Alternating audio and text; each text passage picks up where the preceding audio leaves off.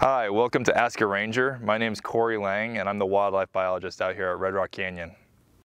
Why do snakes stick their tongue out? Snakes will stick their tongue out into the air in order to taste the air. Snakes typically don't have the best eyesight, but they do have a really good sense of smell. And so by tasting the air, it gives them more cues into if there's any prey or predators around. How can you tell if it's a venomous snake out here at Red Rock? Well, venomous snakes all have really broad, kind of triangle shaped heads. And the only venomous snakes we have out here at Red Rock are also rattlesnakes.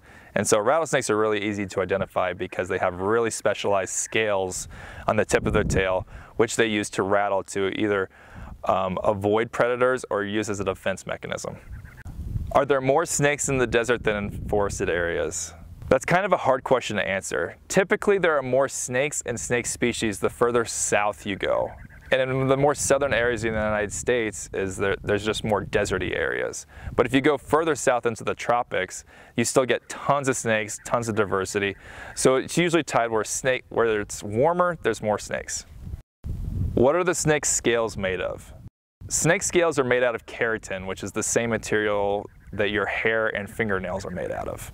And the scales are cool to the touch. So why not use king snakes to control rodent and rattlesnake populations in Nevada? So we do have king snakes in Nevada. We have the native California king snake. And the best way to control rodent and uh, rattlesnake populations is just, just to keep really healthy populations of our native California king snake on the landscape. By bringing in more California king snakes, we may overpredate on all the native rattlesnake and rodent populations, which could cause ecological collapse for other species. That's it from me out here at Red Rock, but thank you for all your snake questions.